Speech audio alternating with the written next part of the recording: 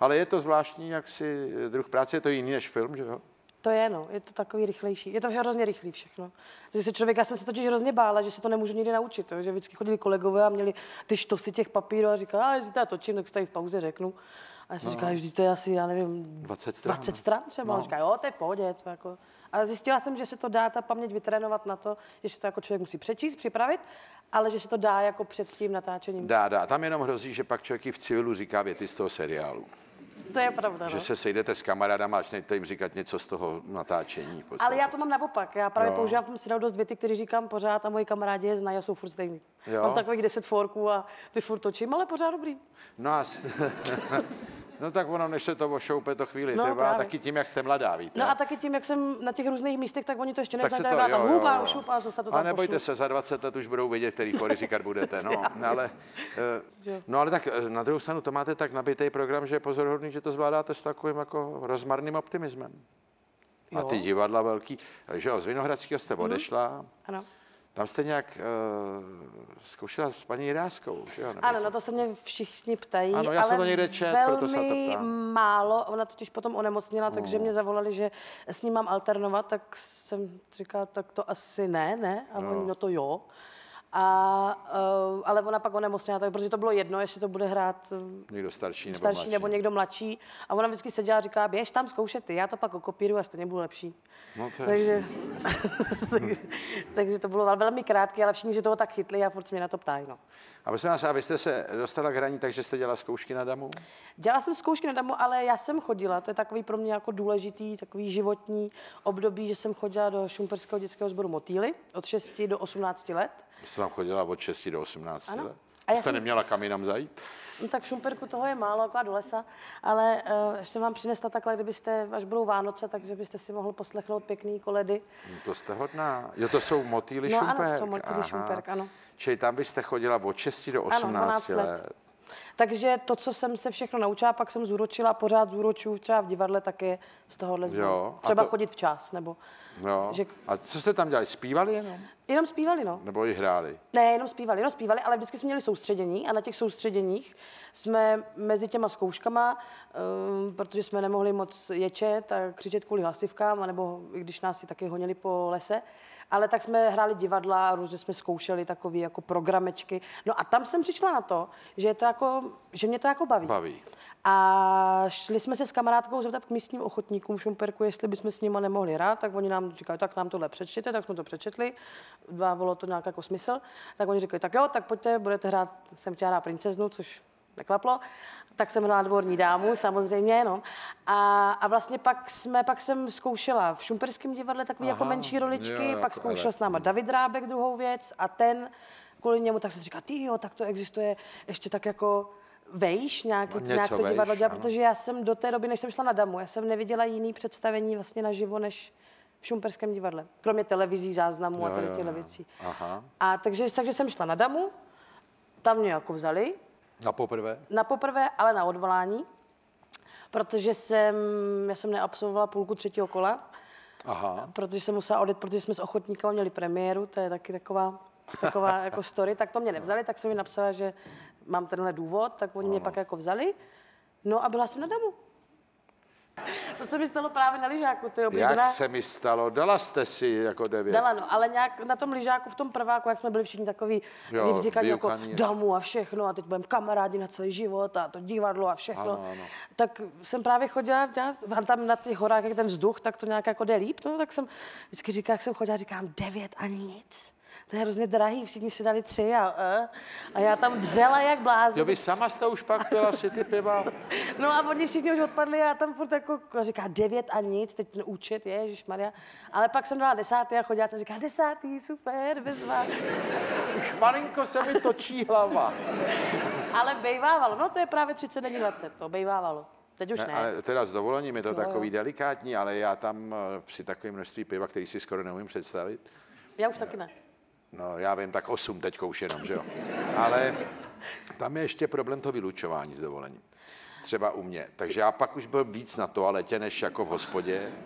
Eh, Je to Takže já přišel o tu společnost. Jako. Je to dřina, spousta historek člověku uteče, ale jako to se taky člověk, to si vyladí člověk.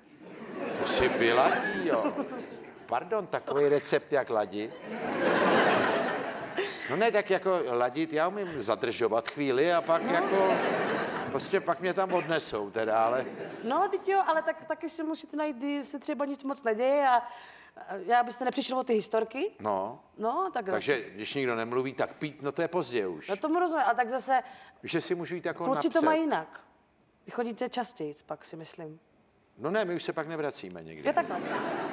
Ne, ne, ale jak si to mám ladit, jako to znamená, mám si říct, nejsou historky, využiju to, No, se třeba. vyčůrat. Třeba. Jo, vrátím se, bude historka zase nic a já půjdu zase čůrat. No, třeba, tak podle toho, jak často chodíte čůrat. To jako jestli každých pět minut, tak já nevím, taky s věkem, že jo. Souvisí. Ale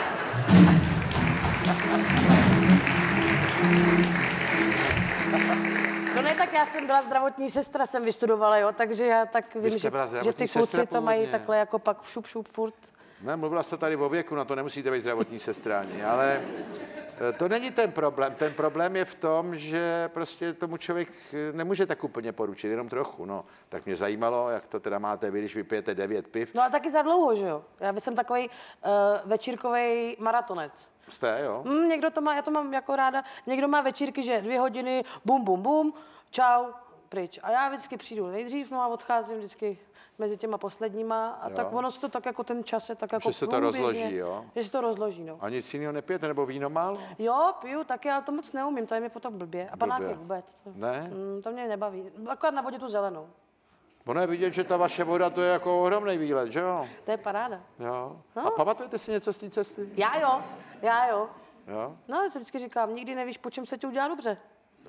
Takže když člověk blbě, tak no, tak jsme neměli třeba ještě tohle. Ale na té vodě je to jinak, to je vždycky takový ventil po té sezóně, že člověk se tak, jak my říkáme, člověk potřebuje trošku vyvenčit krávu, tak, Jo. Že se tak jako, tak jako otevře, no. otevře. No a s tím pivem třeba, to si... To bude celý o tom pivu. Ne, mě teď napadlo, jestli si ho můžete dát i během představení. Ne, to ne. To, tam je problém taky To ne, to právě. nedělám. To, to, to nikdy, to nechápu, třeba někdo si dá nevím, dvojčičku No. nebo k obědu, když hraje, to já nedělám. To já potom ale. Potom. Potom. Ano, to chápu. Tam Předtím vůbec a pak potom třeba i na díl. I na díl, jo. No, tak. A, a kde jste začala pít to pivo? Teda vím, šumperku, ale jako kde tam, jako v hospodě? V hospodě, tam, je, tam jsou totiž skvělý hospody a naše oblíbená Ušvába. Která vždycky byla venkovní sezónní a tam jsme chodili s klukama a, tam, a s holkama. A, tak tak, ho- jako různě, no, ale tak není to, že bych teď už ne, já nem- nemám na to No, čas. to to, vím, je to tak je jako, jasný. když člověku bylo 18, tak prostě šel na večírek a šup, šup, pivo, fest, festiáky, na zábavy u nás. A nevím, různý. Tak ono to samozřejmě můžete ohromně ještě herecky zúročit, že jo? Že v tomhle ohledu jednak se urbanice jednak bude vidět při tom hraní nebo na tom záběru, že to pivo umíte vzít do ruky. To jo. A to třeba vždycky na Damu je takový přijímač a tam jsou třeba pivní štafety. Jo. No, a, ty tak, a tam vždycky jsem byla v té štafetě. Tady je kamarádka, která tady je ode mě, moje kolegyně Ma- Mája Štípková, taky vždycky byla ve štafetě.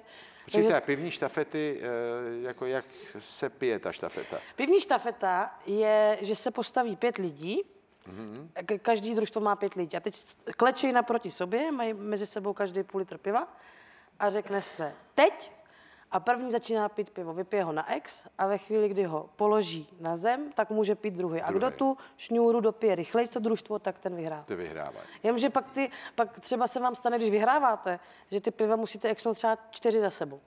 A to je blbý už pak. No, no, a je to i nervák. A tak uh, mrzí mě, že jsem tu školu nestudoval trošku. No. Si můžeme ne. někdy vyzkoušet, třeba zase v šatně.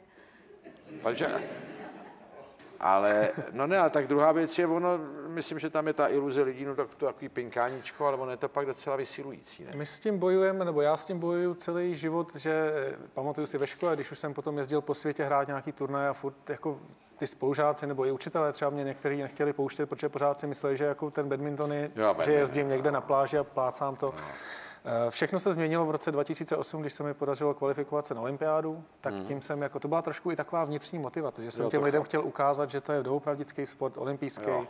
a tam se to hodně změnilo a dneska s radostí sleduju, že i ten sport sám žije a lidi už ví, že to není jenom takový pinkání. Spousta lidí už to vidělo aspoň v televizi. No, no, no. Vzniká spoustu komerčních center, lidi hrajou badminton už v hale, nejenom venku, kde ten míček často No uletí. to je nesnesitelný, když do toho fouká, hele, a teď to nejde vypnout, že jo, to Nejde. foukání. Ale dokonce teď já jsem byl v jednom tréninkovém centru a tam eh, nám taky kolikrát v té hale fouká, ne tolik jako venku, ale jak jsou to velké arény třeba v Jo, jo, jo. Tak tam jsou takový porivy, ten míček jak je lehký, tak stačí opravdu málo a, a fouká to. Tak dokonce teď trénuje se v halách, takže tam zapínají větráky a simulují to, jak to bude na tom turnaji potom. Tak jsem si říkal, že ten trénink venku možná k něčemu by třeba i byl. Prosím vás, kdo je v tom jako dobrý? Který národy jsou na to nadaný, jako, který hrajou dobře badminton? Eh, Tak jsou to národy, kde ten sport je jako tradiční, kde no. to vzniklo, takže Indie, Čína, Indonésie. Čína zase, jo. No, už to tady dneska bylo. Já jsem doufal, jestli s tou výpravou nepřijedou i nějaký badmintonisti. Jo. Mně by se to hodilo, No, že oni přijeli s s kým nějakýma trénovat. tyčema, jenom jsem koukal, ale... No, čili, no ale vy 15-20 procent? Mhm. Vy jste tady jediný na badminton, ne? Eh, Teď zrovna o tu, o tu olympijskou kvalifikaci se pokoušíme tři, tři hráči, respektive dva kluci a jedna, jedna žena. Jo. Ale to na, zrovna u toho badmintonu mám pocit, že to nefunguje tak, jak bych si já úplně Čili představoval. 15-20%, takže co, oni vám dají Tak 300 tisíc. teda. 300, 400, 500 300, tisíc. 400. Záleží taky podle sezóny. Když je ta olympijská sezóna, tak je i větší podpora ze, ze strany státu, než když jsou ty sezóny mezi těmi, ale bohužel nejde tři sezóny jenom trénovat a potom hrát tu No olympijskou. právě, jako ta olympiáda je sice čili to dostanete v solid na to, že bude olympiáda. A když není A olympiáda, spoustu peněz dokonce dostanu až jako když se kvalifikují na tu olympiádu. Některé, Jo, že si část těch peněz je alokovaných jako pouze na ten úspěšný. Ten. čili vy, když jako do toho dáte ty peníze, ale pak se nekvalifikujete, tak vám bohužel nemůžou, ano. protože jste se nekvalifikoval. Ano. A v těch letech, kdy není olympiáda, tak je ten příspěvek menší. Bývá menší ještě Jo. řádově. No. No jo, tak ale to je těžký a ono u Je to- sportu to takhle chodí. takhle to chodí, a no. abyste jezdili autem ještě, no tak to je o to těžší. A v zimě a takový Hmm. taky. To se hraje i v zimě, že? Tak v- díky, no, v zimě díky bohu je to halový sport, takže nám je jedno, jak je venku v létě, zase když je venku parno, tak se do té haly člověku moc nechce. Jako ještě, jak to je velký sport v té Ázii, tak tam člověk hraje v podmínkách, kdy venku je 35 stupňů, v hale je 45. Ale eh, 45, jo. Tam to bývá velmi náročný. Jo. A zároveň zase tam se to člověk jako nejlíp naučí, protože tam těch hráčů je tolik. A vám se zalíbila, ví, pořád tak jak jako pěkně. No já jsem leta neměl eh, badmintonovou v ruce a takovouhle závodnickou jsem neměl nikdy. Skvělý. No, ale eh, říkám si, že možná to bude můj restart. A Že- tohle to by mohl být taky váš restart. V tomhle já jedu v té Jedete v údržbě. tom? No. Já jsem slyšel, že tady byl minulý host, nebo je to asi několik týdnů, a e, že mu někdo zavolal a že to byl pro jeho urolog, že mu chtěl připomenout, že má jít na prohlídku. Pan Habera teda to byl. To je možný, ale já chodím na prohlídky pravidelně a tak... naopak, eh, já už chodím jenom na chvilku ven z nemocnice. Já Jo, jsem tak- tam Tak bylo by potřeba, kdybyste...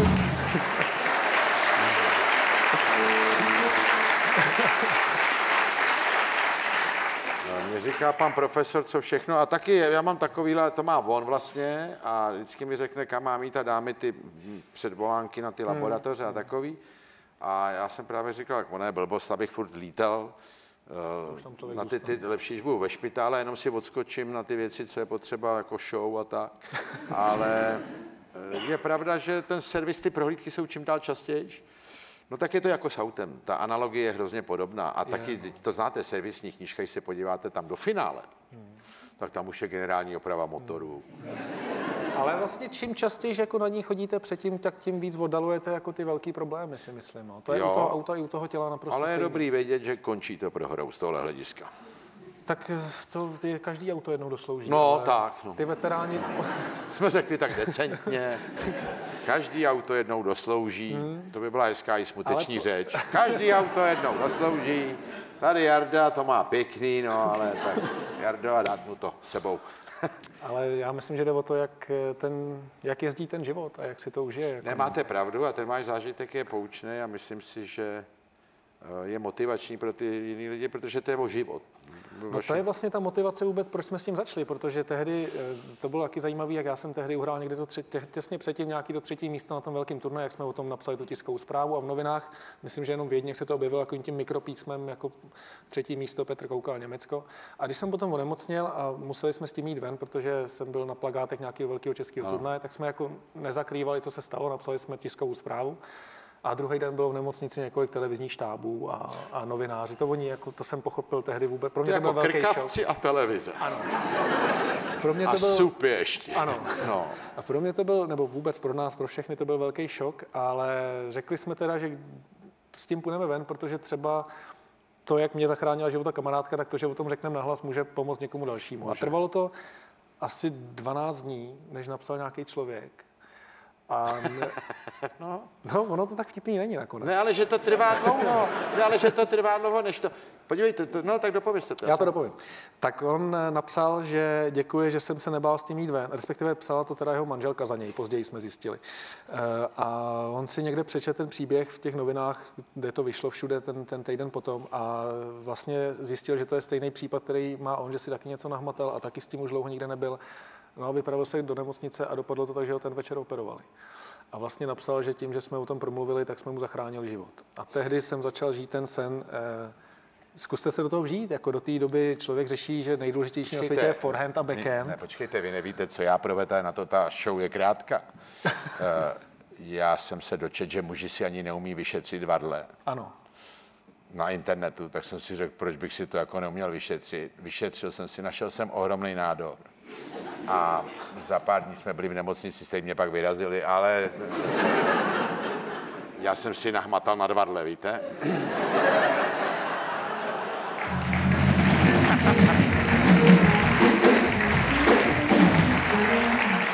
Čili já jsem prožil to, co vy. Tak vy víte. Vy už víte. Já vím, a on mě říkal, ten doktor, a bylo tam v tom internetu, co jste se hrabal něco o nadvadleti? Já jsem říkal, ne, a už takovým zesláblým. Už, už, už jste tušil. Ne, a on řekl, to je to, co jste si nahmatal. Tam je důležitý, že to, co si nahmatáte teda na jednom i na druhém, tak je jako v pořádku. Tam jde o ty anomálie, když to nahmatáte na jednom. Mě, nebo se hned půjdu prohmatat. Já myslím, že, že už s váma počítají v tom špitále. Ne, já jsem chtěl říct, pojďme se prohmatat. Byl to můj nápad, že místo rakety by...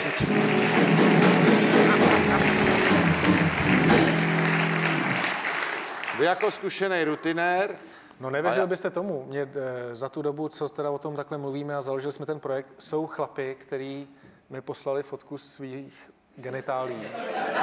jo, To neuvěříte, jo? To je ten, ale ono to je vtipný, Abyste až je to to absurdní, posoudil, jo? A jako. napíšou, já se stydím s tím někam no jo, jste- Eh, Nemohl byste mi říct, jestli co si, je to podobné, jako jste měl vy, nebo není. A to je neuvěřitelný. To je jako, že ta myšlenka, že chlap se stydí doktorovi, který mu může zachránit život a nestydí se Já vím. vám napsat a No tak poslat... on je to střídání strachu a studu, no. A já No a si to pak od vás vás- vezmu mail, když tak, až doma. To všechno vás přejde v tom, v tom špitále, jako ten strach a vím. stud je, tak mi to, já zase to beru. A druhá věc je, já jsem pak taky zavolal panu doktorovi a on mě řekl ráno v sedm tady, já mu volal ve čtyři odpoledne, on řekl ráno v sedm tady, tam, tam to spěchá. Když tak, no já tam myslel, tam, že tam nedojdu ani. Ono no, právě tam se opravdu může hrát Ale my se no. lišíme jen v tom, že já nehraju badminton. A teda mě, musím říct, zaplať pámbu, tu diagnózu nenašli, ale já prožil ten stav toho Víte? zžívání se s takovýmhle objevem teda. No a my máme vyzkoušený, že ty chlapy vlastně to svoje zdraví začnou řešit až v momentě, kdy to potká třeba někoho z kamarádů, nebo no, teď no. já to vidím na svém okolí, jak najednou všichni Pozor, jako... u nás to vzniklo tak, že byl u nás příbuzný, který mluvil o svém synovi, který tohle měl. Přesně A když o tom mluvil, tak já cítil, že eh, cítím nějaký pohyb ve varletě. No. Já jsem tenhle typ. A když odešla ta Lepší, návštěva, lepší. tak jsem si to našel na webu, vyšetřil se, objevil a skácel jsem se, že ten mluví o takhle- úspěšném léčení svého syna a neví, že to říká mně, nemocnému, katastrofálně. Pořád lepší takhle, než, než Ale než máte pravdu. To řekněte mi, tak když hrajete takovýhle vrcholový světový badminton, eh, jak to je s financováním? Musíte si sehnat peníze? Eh, Na, ten, na ty cestování, na ty turnaje, že? Musím. A vím, no. že teda vy už jste tady měl taky spoustu sportovců. Není to jenom případ badmintonu. Spousta malých sportů dneska bojuje s tím, aby vůbec to mohli ty sportovci dělat na No vy potřebujete sponzory, Potřebuju, potřebuju nějaký, nějakou finanční částku, která mi umožní jezdit po světě a kvalifikovat se třeba na tu olympiádu, Na tu olympiádu. což neznamená jenom ten rok před olympiádou, ale už ty čtyři roky vlastně mezi tím. No dobře, ale tak eh, něco taky dostanete od státu, když jste takový špičkový sportovec. No č- teď jsme na tenkém ledě. Člověk něco dostane, ale zdaleka to nepokrývá jako... Dobře, to, a tak kolik tak potřebujete? Jestli se můžu zeptat. tak na ta- ten provoz sportovní, myslím, na ty turnaje. Hmm. Nemyslím vaše soukromí, ale jenom to, abyste mohli dělat ten sport. Tak je to kolem 2 milionů na Na rok. 2 milionů na rok. No a stát vám dá? 15-20% tady z té částky. Ale není to případ, bohužel to není případ jenom badmintonu, a- ale věříme všichni, že se ta, ta doba mění a lepší, protože eh, bohužel třeba já v mém sportu jsem víceméně jediný na těch turnajích, který si to tam takhle hradí sám, jsem tam většinou úplně sám, to zrovna ty náklady, které říkám. Takhle, hradíte si to sám proto, že chcete říct, že ty ostatní to mají hrazený, ne? Hmm. Třeba jo. Ne, tak já jsem si právě říkal, že možná vám může pomoct taky to, že podnikáte jako rodina nebo tak. No. V těch začátcích to bylo určitě důležitý, protože když tehdy člověk neměl ani tu podporu toho státu nebo toho svazu, tak tehdy do nějakého 18. roku, když si, tak jednak to, že to ten táta hrál a mohl mě sám trénovat. Mm. Obcestoval se mnou, to jsou 100 tisíce kilometrů po Evropě, Jo. který se mnou objezdil a to jsou ty příběhy, kdy jsme jezdili na druhou stranu Evropy 12-14 kilometrů, tam jsem prohrál v prvním kole, jelo se zase zpátky. Takových turnajů bylo no. to já bych si hrál na to, že jsem tam jako nehrál vůbec. Že? No Že to já bych ne- taky hrál na to, že jsem tam Ale nehrál, je to ale s tím tátou to moc Jo, nefungovalo. ten táta byl no. takový nepříjemný svědek. Po to, cestě jo. zpátky nemluvil většinou moc. No tak to chápu, jak je byl utahaný z té cesty. no. Že jo. A je to taková blbá cesta. Co je s tebou, tati? No. No. Jsi nějaké takové... A teď jsme se vrátili třeba ve čtvrtek a v pondělí jsme měli odjíždět na další turnaj. Jo. Na druhou stranu. Dej se rychle dohromady, v pondělí vyrážíme. A To jsme znamená, v byli, úterý bychom mohli být zpátky zase. a jednou jsme jeli do Francie, to si pamatuju, nebo respektive já jsem letěl do Francie z, z jiného turnaje, ale tam on říkal, že, se za mnou jako, že tam pro mě, že tam přijede za mnou a to mě bylo už asi 19. A já jsem tam hrál takový velmi jako náročný zápas, prohrál jsem teda bohužel zase v tom prvním kole, ale bylo to s olympijským vítězem. Po velké bitvě sedli jsme do auta, že pojedeme na noc domů, já jsem po tom zápase spal 9 hodin, ale myslel jsem, že jsem spal jenom chvíli a teď jsem jako otevřel ty oči a už jsem teda měl ten řidičák chvíli a říkám, tati, jestli chceš, tak já tě vystřídám. A teď jsem si všiml, že tam je cedule Hořovice 4 kilometry. A on říká, to seš fakt hodnej. To seš hodné, no. Tam už nebylo ani kde zastavit, aby jsme se vystřídali, takže... Až se člověk jako cítí trošku tam, jako že tam, tak je to zvláštní pocit, když to jako člověk tak bere nějak tu Francii, Německo, Dánsko, ty velké jsou státy, bohatý ale a jsou tak. tam hráči i třeba ze zemí, který by člověk řekl, že nejsou minimálně ekonomicky nebo sportovně zdaleka tak rozvinutý jako my a mají tam Například? sebou například eh, Litva, eh, Bělorusko, Ukrajina, Hmm. mají tam sebou trenéry, mají tam sebou zázemí.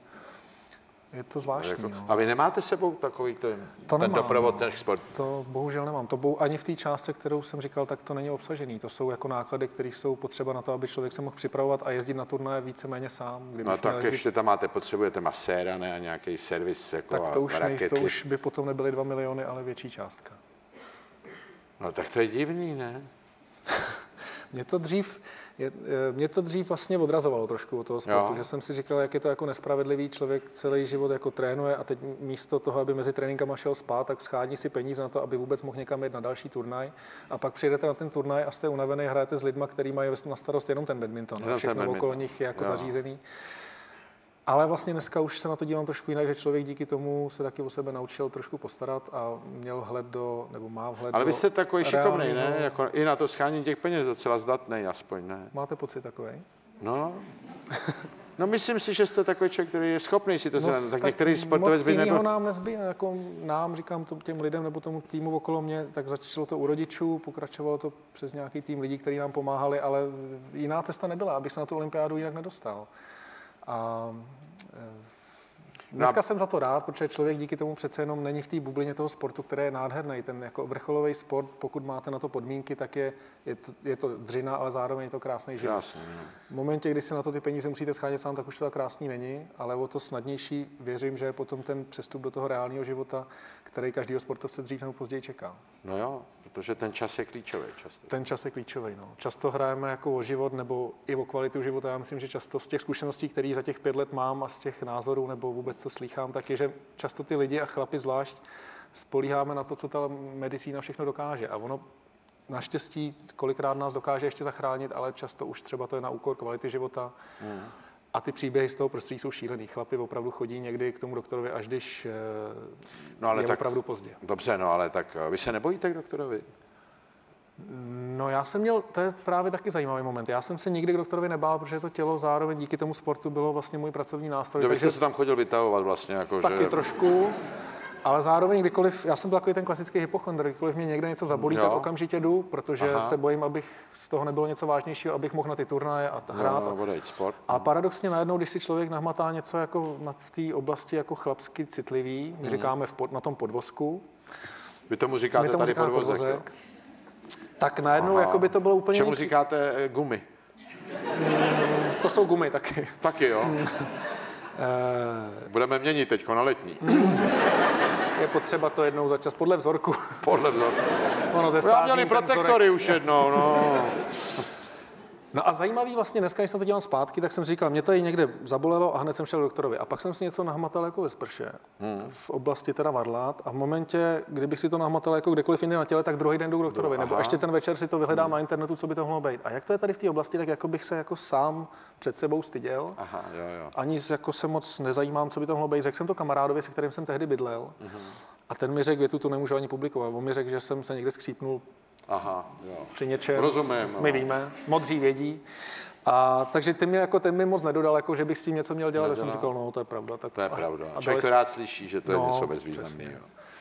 a po 14 dnech nebo po měsíci jsem si to zkontroloval, bylo to stejně velký, nebolelo to, tak říkám, to asi nic není, člověk cestuje, sportuje. Hmm. Ale je to zvláštní, jak vlastně k té části těla člověk, nebo hlavně chlapy, přistupujeme úplně jinak než k tomu zbytku. Já myslím, No že podvozek, no. podvozek. No. Spíš řešíme, jak to vypadá zvenku všechno, ale ten podvozek jako moc neřešíme. A jak dlouho to trvala pak ta vaše rekonvalescence a ten návrat k tomu hraní? No, po Jako, operaci že- to trvalo měsíc, kdy jsem teda jako vyloženě se dával dohromady po té operaci, než jsem nastoupil na chemoterapii, která hmm. musela následovat. To byly tři cykly, vždycky ten jeden cyklus jsou tři týdny, takže devět týdnů plus ty čtyři týdny předtím. Takže dneska, když se na to vzpomínám, tak to bylo opravdu velmi rychlé. To bylo 14, za 14 týdnů vlastně mě doktoři pustili z nemocnice a řekli v úvozovkách, že jsem zdravý, i když v tuhle chvíli těž- těžko člověk to může tvrdit na 100%, ale vlastně To nikdo, v tom těle, nikdy. to nemůže nikdo, přesně tak. V tom těle už nebyly žádný zbytky toho, co se tam tehdy jako našlo. Takže 14 týdnů, což tehdy to bylo dlouhý. eh, Podstatně delší byla ta doba, než se člověk zpamatuje z těch chemoterapií, protože Hmm. to je velký zásah do těla.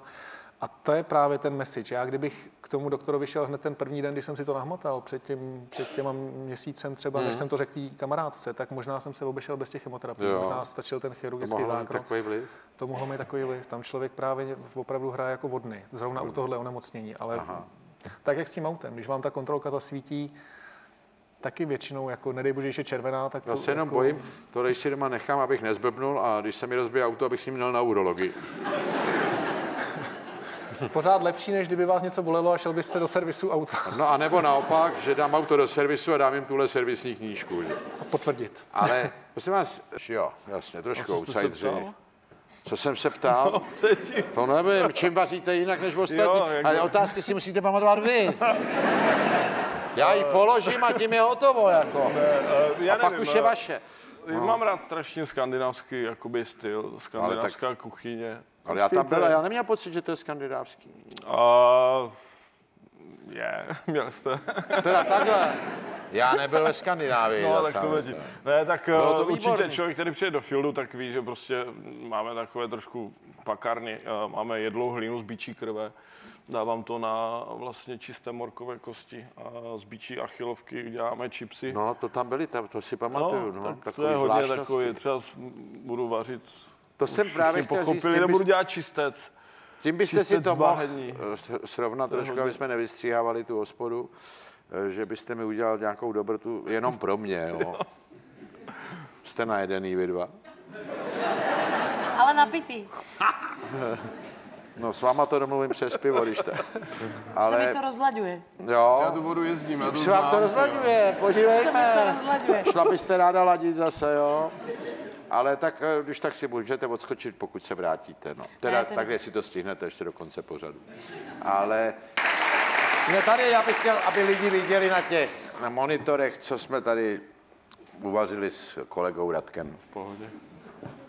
Můžete to takhle sejmout, takhle vidíte, aby to... No, teď Když byste to, to měli to vidět na těch obrazovkách. rozlíváte špatně. No, strašně nakloníte. Hele, eh, já to vyřeším nějak, ale